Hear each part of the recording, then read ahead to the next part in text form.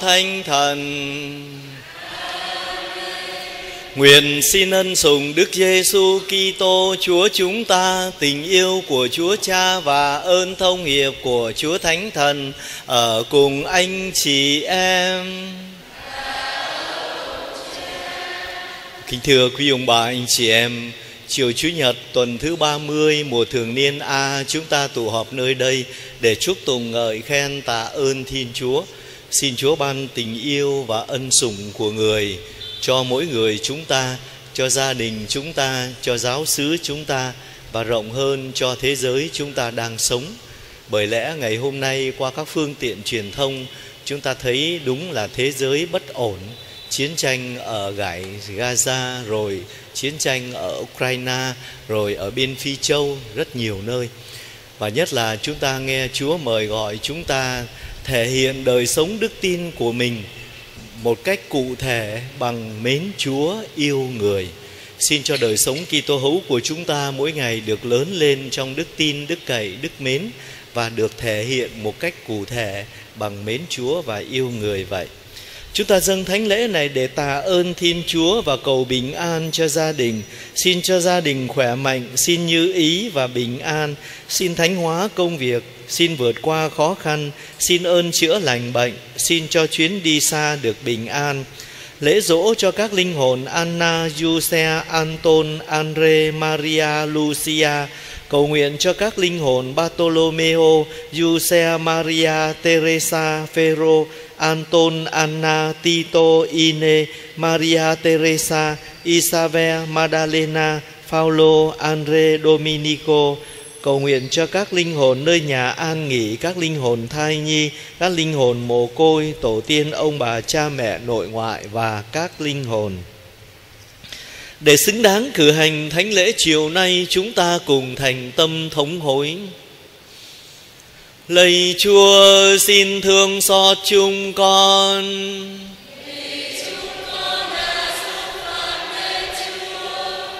Lạy Chúa, xin tỏ lòng từ bi Chúa trên chúng con Xin Thiên Chúa toàn năng thương xót tha tội và dẫn đưa chúng ta đến sự sống muôn đời.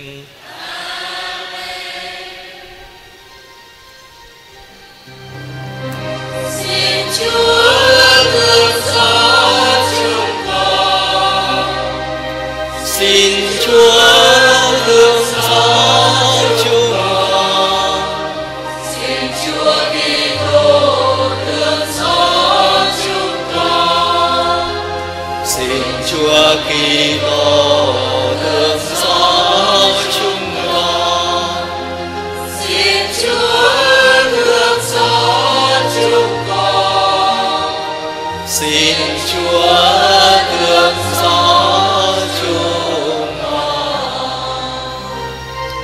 Vinh danh Thiên Chúa trên các tầng trời.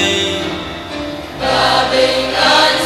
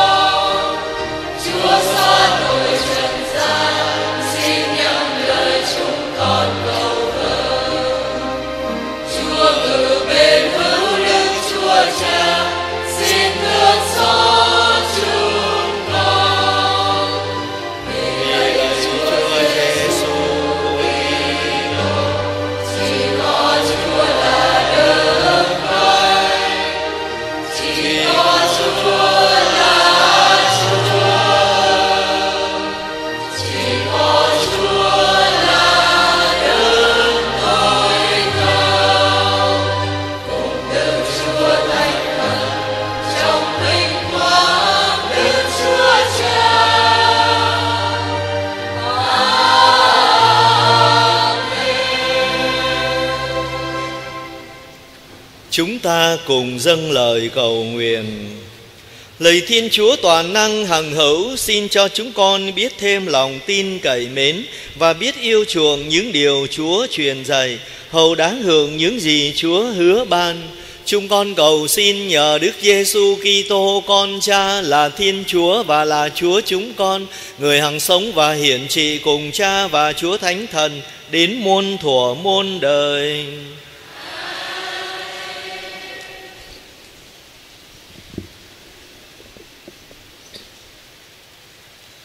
Lời Chúa trong sách xuất hành.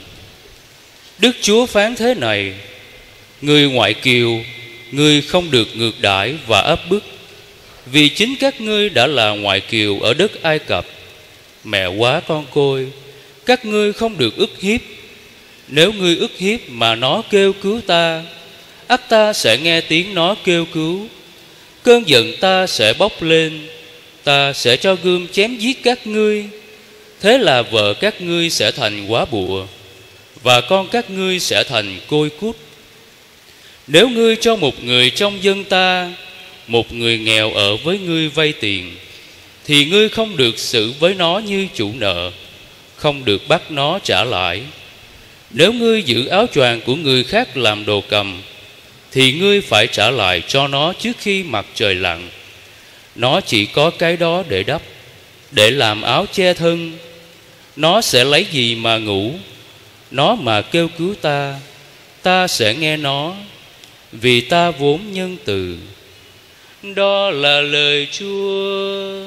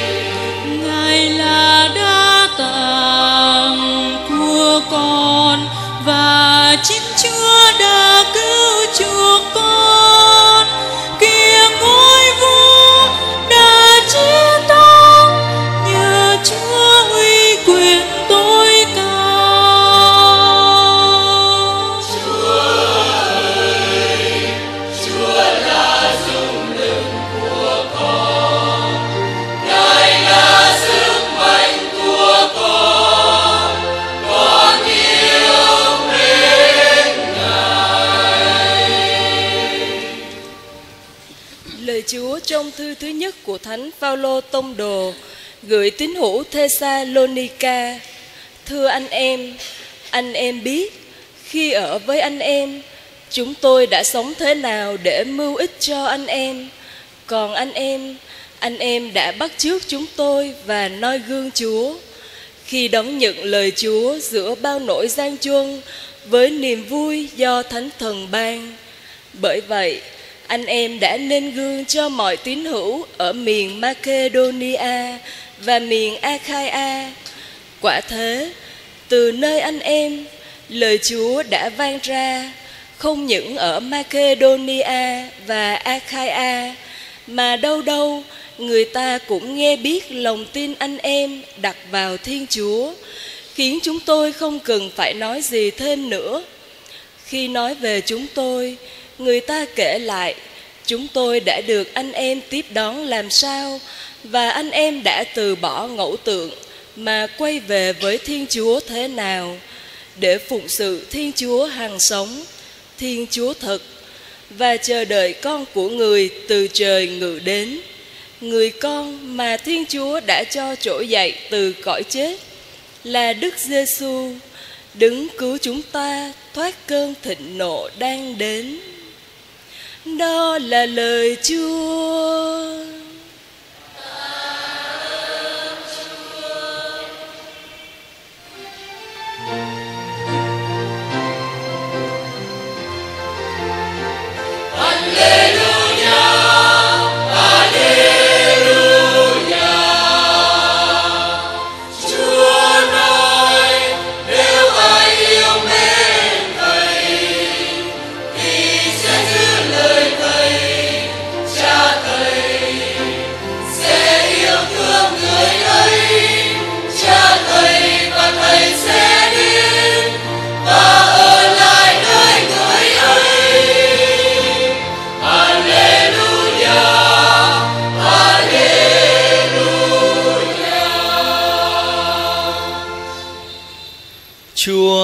cùng anh chị em.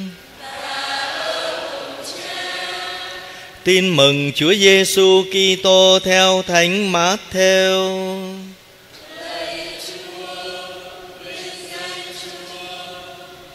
Khi nghe tin Đức Giêsu đã làm cho nhóm Sa đốc phải câm miệng, thì những người Pha-ri-siêu họp nhau lại rồi một người thông luật trong nhóm hỏi Đức Giêsu để thử người rằng Thưa thầy, trong sách luật Mô-xê, điều răn nào là điều răn trọng nhất? Đức Giêsu đáp: Ngươi phải yêu mến Đức Chúa, Thiên Chúa của ngươi hết lòng, hết linh hồn và hết trí khôn ngươi. Đó là điều răn trọng nhất và điều răn thứ nhất. Còn điều răn thứ hai cũng giống điều răn ấy là, Ngươi phải yêu người thân cận như chính mình. Tất cả luật mô xê và các sách ngôn sứ đều tùy thuộc vào hai điều răn ấy. Đó là lời Chúa.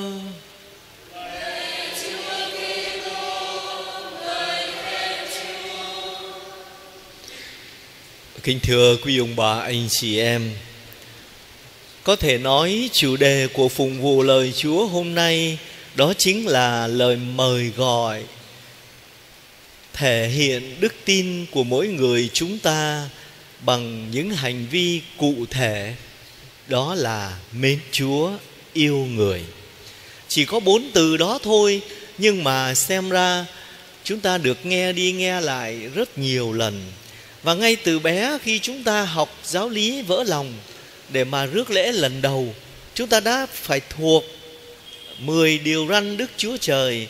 Đạo Đức Chúa Trời có 10 điều răn Thứ nhất thờ phượng một Đức Chúa Trời Và kính mến người trên hết mọi sự Rồi thứ hai, thứ ba Rồi đến thứ 10 Và cuối cùng thì hai điều răn ấy Tóm về hai điều này mà chớ Trước kính mến một Thiên Chúa trên hết mọi sự và sau lại yêu người như mình ta vậy. Amen. Chắc chắn ở đây quý ông bà, anh chị em, ai cũng thuộc kinh 10 điều răn đó. Và nếu chúng ta đặt kinh 10 điều răn đó vào trong bối cảnh khi được ra đời, đó là Môse đã được Chúa ban cho hai bia đá, trên đó khắc 10 điều răn. và trong bản văn đã nói rõ rằng đức chúa đã nói với dân, nếu các ngươi giữ 10 điều răn này, thì các ngươi sẽ là dân của ta. Còn nếu các ngươi không giữ 10 điều răn này, thì các ngươi sẽ bị gọi là những tai họa. Nào là chiến tranh, nào là loạn lạc, nào là đi lưu đày, nào là mất nước, vân vân. Tức là đó chính là luật giao ước. Hay nói một cách khác là nó quy định mối tương giao giữa thiên chúa và dân chúa một cách cụ thể, và ta gọi đó là giao ước. Ở đời thì, thưa quý ông bà, anh chị em, đạo làm người thôi thì người ta vẫn phải thảo kính cha mẹ đấy thôi. Người ta cũng không được giết người bởi vì phải tôn trọng sự sống của người khác. Người ta cũng không được trộm cắp là bởi vì ờ, gọi là tôn trọng tài sản của người khác đó là chưa kể nếu mà xảy ra trộm cắp thì luật pháp cũng sẽ có những hình thức chế tài. Đấy, xã hội hay là đạo làm người đã buộc con người như vậy rồi. Nhưng mà ở đây 10 điều răn đó lại là giao ước. Cũng giống như trong tin mừng Chúa Giêsu đã trả lời cho những thầy thông luật, những người này đang muốn thử Chúa Giêsu chứ các vị là những người thông luật thì các vị rất giỏi về lề luật mà lại hỏi Chúa Giêsu một câu là thưa thầy điều răn nào là điều răn trọng nhất thực ra các vị đang đánh bẫy đang thử Chúa Giêsu thôi rồi Chúa Giêsu lấy ở trong sách thứ luật và trong sách Lê Vi và người đã trả lời ngươi phải yêu mến Đức Chúa Thiên Chúa của ngươi hết lòng, hết linh hồn, hết trí khôn ngươi. Đó là điều răn trọng nhất và điều răn thứ nhất. Còn điều răn thứ hai cũng giống như điều răn ấy là ngươi phải yêu người thân cận như chính mình. Ở đây chúng ta nhớ lại, trong bữa tiệc ly thì Chúa Giêsu nói như là di chúc cho tất cả chúng ta. Đó là thầy để lại cho anh em một điều răn mới là anh em hãy yêu thương nhau như thầy yêu thương anh em. Tức là nó còn cao hơn cái cấp độ ngươi phải yêu người thân cận như chính mình ngươi nhưng mà bây giờ yêu thương người khác như Chúa Giêsu yêu thương chúng ta. Thế nên Thánh Augustino mới bảo rằng chúng ta chỉ có thể yêu thương người tác thật. Khi chúng ta cảm nhận được Thiên Chúa yêu thương chúng ta, tất nhiên cái sự cảm nhận ở đây nó là niềm tin, nó là giống như một động lực để cho chúng ta sống và yêu thương người khác rồi Chúa Giêsu kết luận, tất cả luật mô xê và các ngôn sứ đều tùy thuộc vào hai điều ấy. Hóa ra rằng Đức Giêsu cũng muốn nói cái luật yêu thương đó là luật giao ước. Và luật yêu thương mới như Chúa Giêsu nói trong bít trong bữa tiệc ly cũng là luật giao ước và đó, nó sẽ bao trùm tất cả mọi lề luật khác và chính vì như vậy, có thể nói được rằng khi chúng ta sống đức tin của mình một cách cụ thể, thì chúng ta thực hành một điều cụ thể, đó là mến Chúa và yêu người. Bây giờ chúng ta hỏi rằng chúng ta mến Chúa, chắc chắn ở đây một trăm phần trăm quý ông bà, anh chị em, ai cũng mến Chúa hết. Nếu không mến Chúa thì đến đây ngày Chủ nhật, thờ phượng Chúa làm gì? Nếu không đến mến Chúa thì đến đây để mà lắng nghe lời Chúa mỗi Chủ nhật hay là trong bất kỳ thánh lễ nào chúng ta tham dự. Chắc chắn phải xác định như vậy, một trăm phần trăm không sai. Nhưng mà thưa, mỗi người có những mức độ khác nhau. Còn yêu người xem ra cụ thể hơn bởi vì những người chung quanh chúng ta những người chẳng hạn trong gia đình chúng ta hàng xóm láng giềng chúng ta đồng nghiệp chúng ta vân vân thì bây giờ xem ra nó cần phải suy nghĩ nhiều hơn về điều này. Thế nên ta có thể nói, mến chúa và yêu người, đó là luật giao ước để quy định cái mối tương giao của ta với chúa. Để mà chúng ta khi thực hành cái luật giao ước này là chúng ta thể hiện đức tin của mình, chứ không phải là điều chúng ta phải làm, điều chúng ta giống như là một thứ luân lý vậy. Không phải rồi từ đó ta mới có thể hỏi rằng tôi sẽ phải yêu người khác như thế nào đây? Thưa quý ông bà, anh chị em, không có một câu trả lời chung cho tất cả mọi người đâu. Là bởi vì mỗi người một hoàn cảnh sống, mỗi người sẽ thể hiện đức tin của bản thân của mình khác nhau. Không ai giống ai hết. Tất nhiên chúng ta có thể nhìn vào người khác, chẳng hạn họ làm điều này, làm điều kia là tốt đẹp là yêu thương người khác chúng ta bắt trước cũng được. Nhưng mà thưa, nó mới chỉ là một phần thôi. Và nếu chúng ta trở lại với lời chúa hôm nay, thì chúng ta sẽ thấy rõ ràng trong sách xuất hành bài đọc thứ nhất đã cho chúng ta những chỉ dẫn rất là cụ thể. Sách xuất hành là nói về thời kỳ thế kỷ thứ 12 trước Chúa Giáng sinh, khi mà Môse dẫn dân Chúa ra khỏi đất nô lệ Ai Cập. Nhưng mà khoảng thế kỷ thứ sáu trước Chúa Giáng sinh thì bộ ngũ thư tức là Torah đó, tức là năm cuốn đầu tiên của Kinh Thánh trong đó có cuốn sách xuất hành này thì mới gọi là được san định, mới được cố định. Tức là ta có thể nói đã hơn chúng ta 2.500 năm rồi mà có những cụ điều cụ thể mà xem ra chúng ta sống ở trong thế kỷ 21 này vẫn còn xa lắm. Chẳng hạn, ngươi không được ngược đãi và áp bức người ngoại kiều. Chẳng hạn, ngươi không được ức hiếp mẹ quá con côi. Chẳng hạn, ngươi không được à, cho một người vay tiền và bắt nó trả lãi. Đấy, cho vay tiền mà không có được lấy lãi rồi hơn thế nữa cái người mà vay tiền mà không có gì phải trả mà nó chỉ có mỗi một cái áo choàng mà ngươi cầm cố cái áo choàng của nó. Đêm nó trời lạnh mà nó chết, thì đức chúa sẽ không tha cho ngươi đâu. Chúng ta nghe những điều này tưởng là mới đây, tưởng là rất văn minh, nhưng mà thưa quý ông bà anh chị em, nó đã cách chúng ta cả hơn 2.500 năm rồi. Xem ra cái thế giới của chúng ta thế kỷ thứ 21 vẫn còn xa lắm, gọi là văn minh đấy nhưng mà vẫn còn có nhiều người cho vay và lấy lãi nặng nữa. Sau mùa dịch cái đi ra ngoài đường, khuyên bà anh chị em thấy người ta dán những cái tờ gọi là quảng cáo cho vay nhanh, gọn. Thậm chí còn để là cho vay đứng nữa. Đứng có nghĩa là không phải ngồi, rất nhanh. Hai bên thỏa thuận với nhau, không cần chứng minh nhân dân, không cần hộ khẩu, không cần căn cước vân vân gì hết nhưng mà ai mà lỡ, gọi là, vay cái kiểu đó là mang cái chồng vào cổ của mình. Bởi vì cái lãi suất nó lên tới 500 600 phần trăm một tháng. Đó là thực tế. Điều này là điều có thật. Chúng ta cứ nhìn đấy thì sẽ thấy còn nhiều điều khác nữa xem ra vẫn còn xa. Thế nên trở lại vấn đề chúng ta thấy không có một cái cách ta gọi là yêu người chung chung mà mỗi người tùy theo một hoàn cảnh. Xin kể ra hai cái câu chuyện.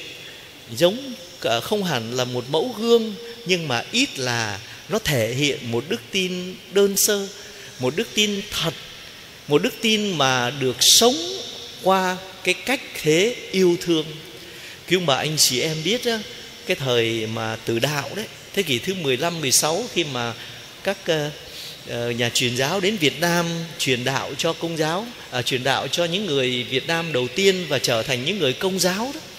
Thì những dân chung quanh không phải công giáo người ta không biết cái đạo mới này là cái đạo gì. Và họ chỉ thấy rằng cái người dân công giáo cha ông của chúng ta thời ban đầu đó thì yêu thương nhau thật. Và họ chỉ nói đây là những người theo đạo yêu nhau đơn giản như vậy.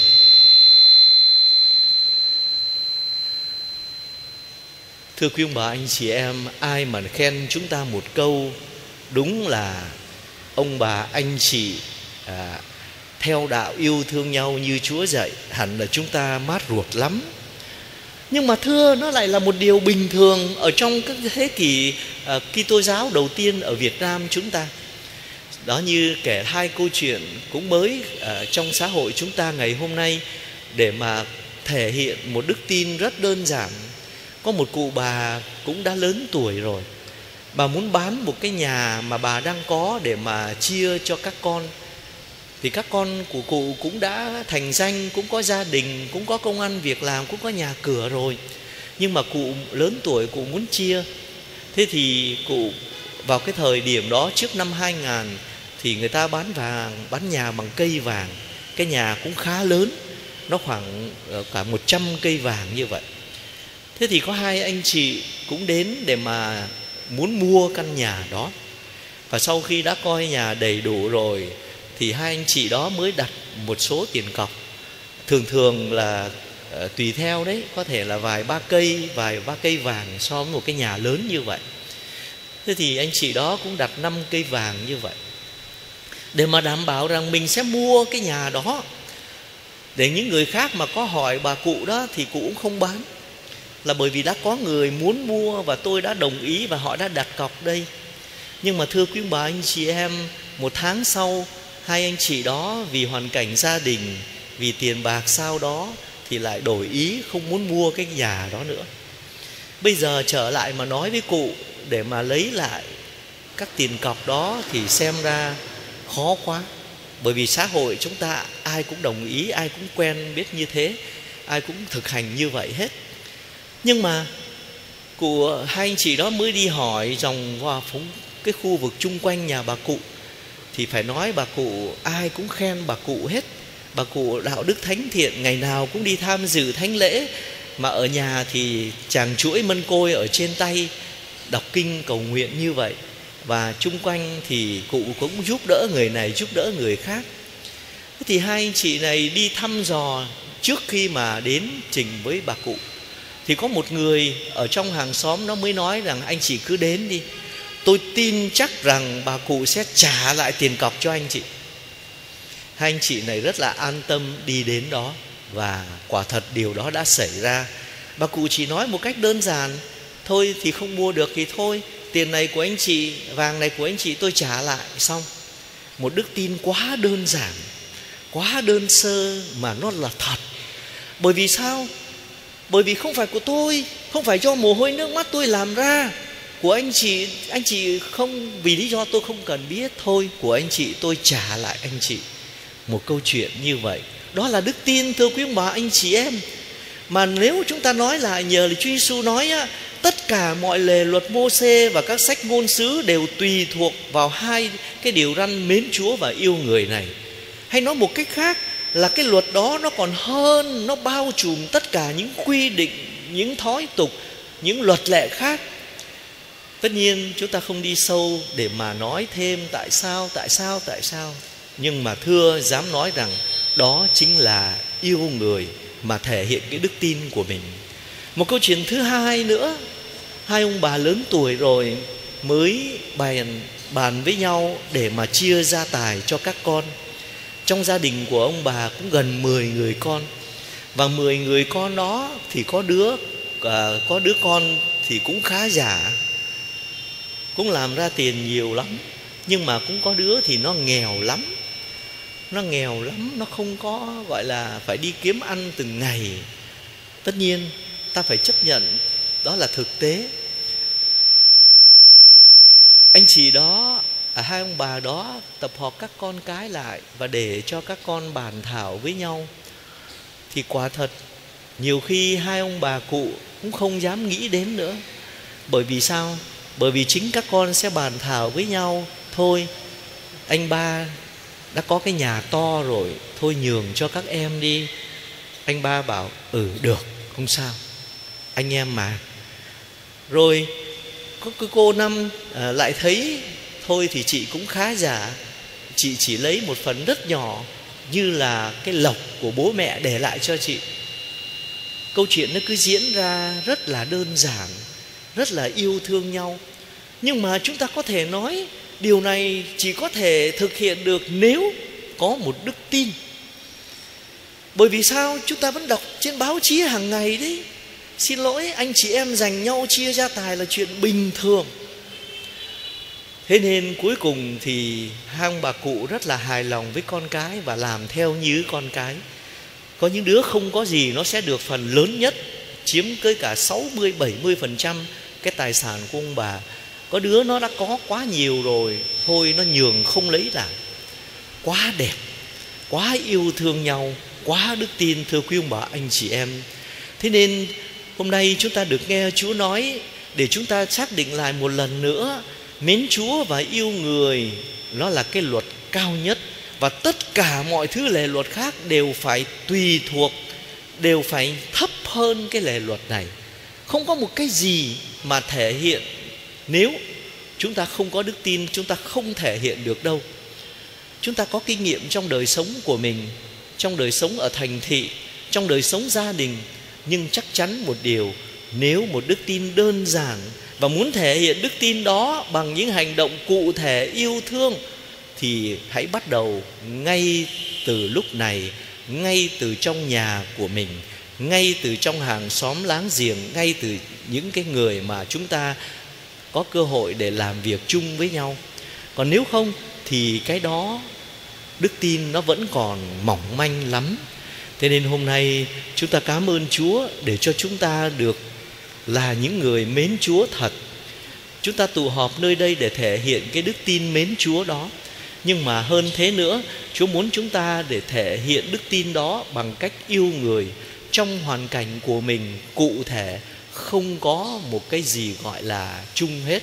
Chỉ có nguyên tắc chung là mến chúa, yêu người là nền tảng. Còn cái cách thể hiện thì mỗi người mỗi khác, tùy hoàn cảnh, tùy cuộc sống của mỗi người.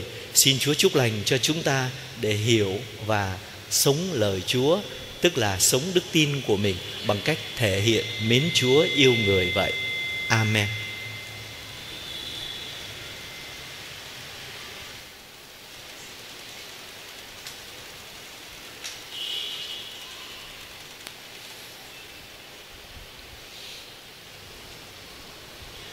Tôi tin kinh Đức Chúa Trời là cha phép tăng vô cùng dừng lên trời đất. Tôi tin kinh Đức Chúa Giêsu Kitô là con một Đức Chúa Cha, cùng là Chúa chúng tôi, với phép Đức Chúa Thánh Thần mà người xuống thai, sinh bởi bà Maria đồng chi, chịu nan đời quanh phong Siô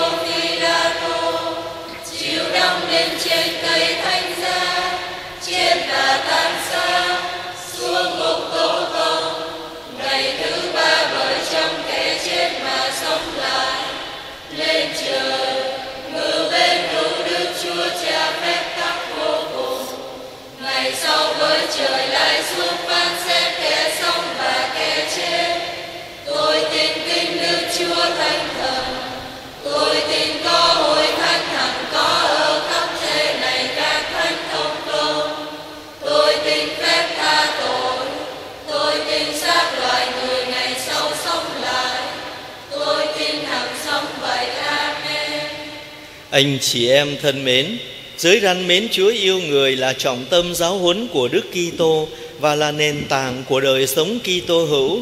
Với khao khát nên hoàn thiện và quyết tâm thực thi điều Chúa dạy, cộng đoàn chúng ta cùng thành tâm dâng lời cầu xin.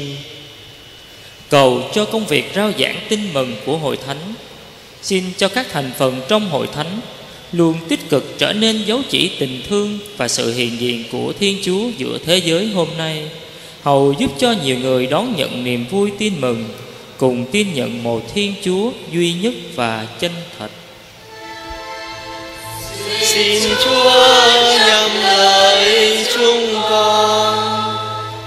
cầu cho sự phát triển và bình an của thế giới xin cho mọi người trên thế giới cách riêng tại những vùng đang có chiến sự biết vượt qua những khác biệt về sắc tộc văn hóa hay tôn giáo để luôn sống tinh thần tương thân tương ái cùng nhau xây dựng một thế giới văn minh và hòa bình Xin Chúa nhầm lời chúng con. cầu cho những người đang đau khổ và những hoàn cảnh bất hạnh xin chúa cho họ tìm được sự cảm thông chia sẻ và đồng hành của nhiều tấm lòng quảng đại để có thêm can đảm vượt qua mọi khó khăn thử thách và luôn tràn trề hy vọng lạc quan trong cuộc sống Chúa nhầm lời chúng con. cầu cho tất cả mọi người trong cộng đoàn xin cho giới răng mến chúa yêu người luôn khắc ghi trong tâm hồn và thâm nhập vào cuộc sống của mọi người chúng ta, giúp chúng ta biết dành ưu tiên cho những sinh hoạt đạo đức, cũng như luôn tích cực dấn thân trong các hoạt động bác ái tông đồ. Xin Chúa nhận lời chúng con.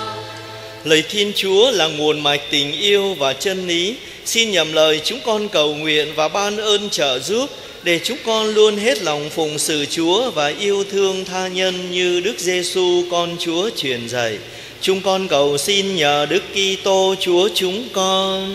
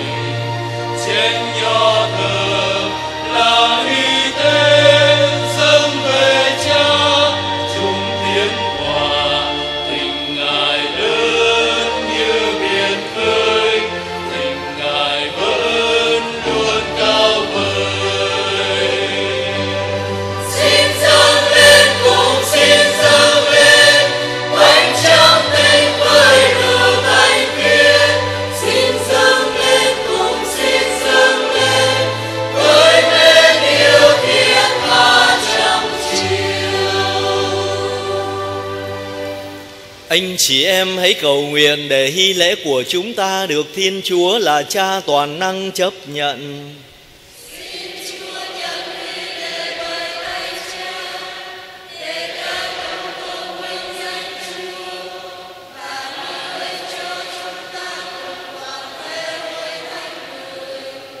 Lời Chúa xin nhìn đến lễ vật chúng con dâng để tỏ lòng kính tôn thần phục và xin cho lễ tạ ơn này góp phần làm vinh danh Chúa.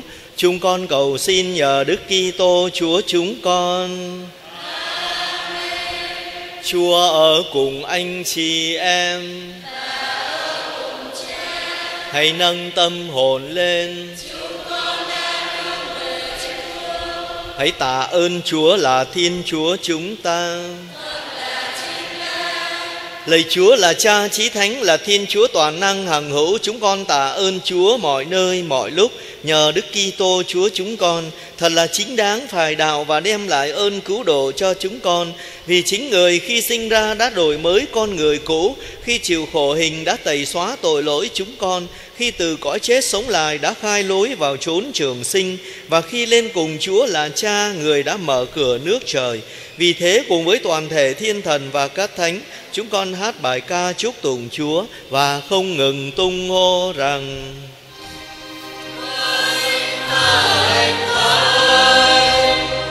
Chúa là Thiên Chúa cả đạo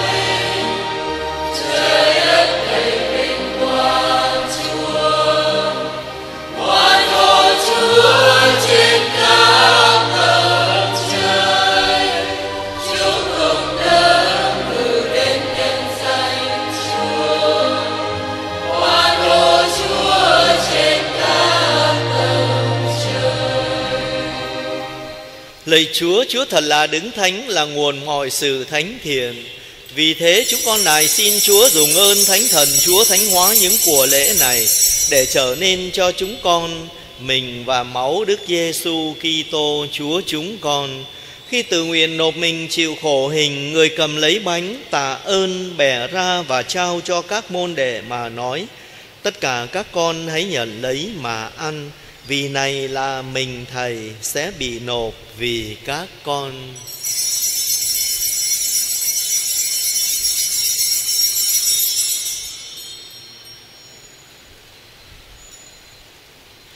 Cùng một thể thức ấy, sau bữa ăn tối, Người cầm lấy chén cũng tạ ơn trao cho các môn đệ mà nói, Tất cả các con hãy nhận lấy mà uống. Vì này là chén máu thầy, máu giao ước mới và vĩnh cửu Sẽ đổ ra cho các con và nhiều người được tha tội. Các con hãy làm việc này mà nhớ đến thầy.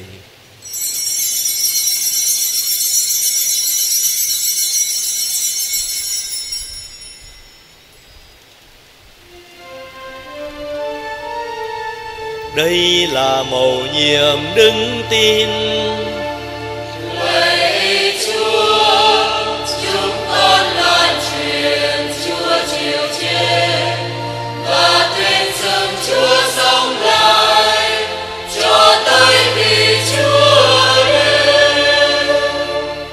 Vì vậy Chúa khi kính nhớ con Chúa chịu chết và sống lại, Chúng con dâng lên Chúa bánh trường sinh và chén cứu độ để tạ ơn Chúa. Vì Chúa đã thương cho chúng con được xứng đáng hầu cận trước tôn nhan và phụng sự Chúa. Chúng con tha thiết này xin Chúa cho chúng con khi thông phần mình và máu Đức Kitô Được quy tụ nên một nhờ Chúa Thánh Thần. Lạy Chúa xin nhớ đến hội thánh Chúa lan rộng khắp hoàn cầu để kiện toàn hội thánh trong đức mến cùng với Đức Giáo hoàng Francisco, Đức Tổng giám mục giuse chúng con, Đức cha phụ tá giuse và toàn thể hàng giáo sĩ. Xin Chúa cũng nhớ đến anh chị em chúng con đang an nghỉ trong niềm hy vọng sống lại và mọi người đặc biệt các bậc tổ tiên, ông bà, cha mẹ và thân bằng quyến thuộc chúng con đã ly trần trong tình thương của Chúa. Xin cho hết thầy được vào hưởng ánh sáng tôn nhan Chúa. Chúng con này xin Chúa thương xót tất cả chúng con cho chúng con được đồng hưởng sự sống đời đời cùng với Đức Trinh Nữ Maria mẹ Thiên Chúa, Thánh Du Xe bản trăm năm Đức Trinh Nữ, các thánh tông đồ và toàn thể các thánh đã sống đẹp lòng Chúa qua mọi thời đại và cùng với các ngài chúng con được ca ngợi và tôn vinh Chúa nhờ Đức Giêsu Kitô con Chúa. Chính nhờ người với người và trong người mà mọi danh dự và vinh quang đều quy về Chúa là Cha toàn năng trong sự hợp nhất của Chúa Thánh Thần đến muôn đời.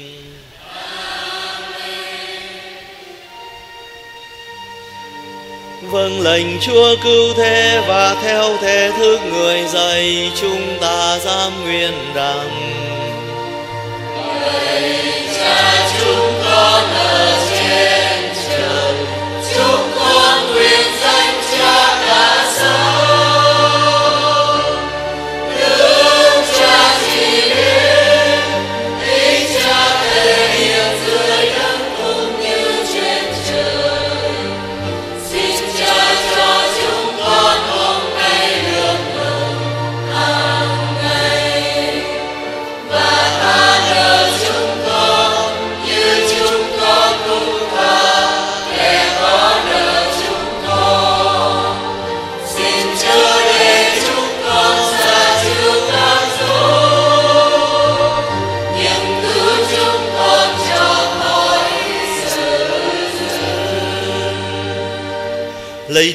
xin cứu chúng con khỏi mọi sự dữ. Xin đoái thương cho những ngày chúng con đang sống được bình an. Nhờ Chúa rộng lòng thương cứu giúp, chúng con sẽ luôn luôn thoát khỏi tội lỗi Và được an toàn khỏi mọi biến loạn. Đang khi chúng con mong đợi niềm hy vọng hồng phúc Và ngày trở lại của Chúa Giêsu Kitô, đấng cứu độ chúng con. Uy lực và vinh quang là của Chúa đến muôn đời. Lạy Chúa Giêsu Kitô, Chúa đã nói với các tông đồ rằng Thầy để lại bình an cho các con, Thầy ban bình an của Thầy cho các con. Xin đừng chấp tội chúng con, nhưng xin nhìn đến đức tin của Hội Thánh Chúa. Xin đoái thương ban cho Hội Thánh được bình an và hợp nhất theo thánh ý Chúa. Chúa hằng sống và hiển trị muôn đời. Bình an của Chúa hằng ở cùng anh chị em. Anh chị em hãy chúc bình an cho nhau. Xin cha phép hồng mình của máu Chúa Giêsu Kitô cho chúng con và chúng Lạy tri ân Thiên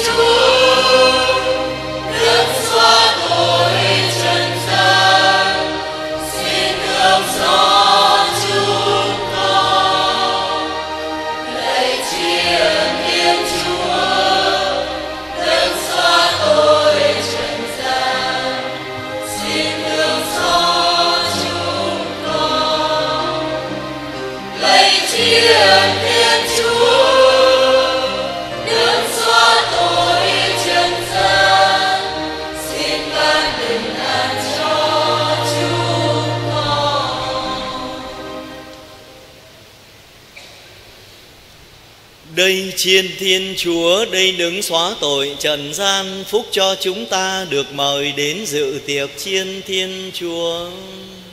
Lạy Chúa.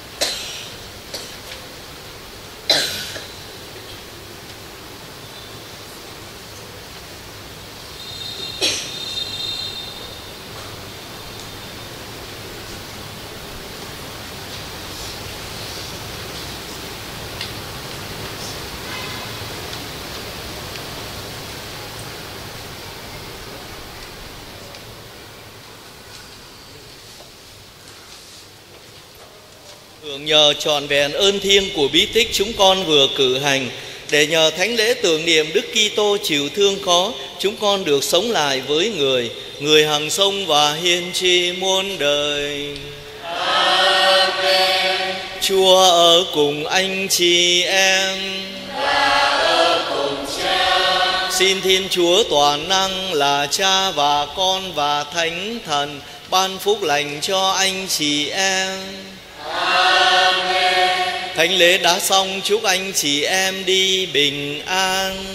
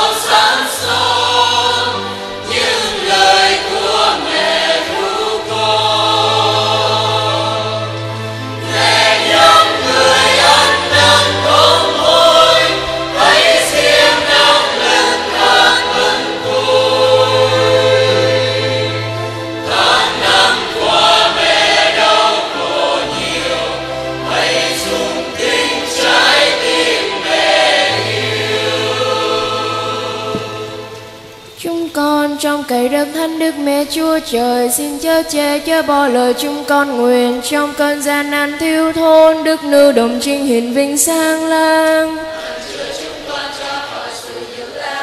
Lạy Đức Thánh Trái Tim Đức Chúa Giêsu. Lạy trái tim cực thanh cực tình Đức Thánh Đức Bà Maria. Lạy ông Thánh Du Xe là bạn thanh sạch Đức Bà Maria trọn đời đồng trinh. Lạy các thánh tư đạo Việt Nam. Như danh cha và con và thánh thần. Amen. Lạy Chúa Giêsu con thờ lạy Chúa.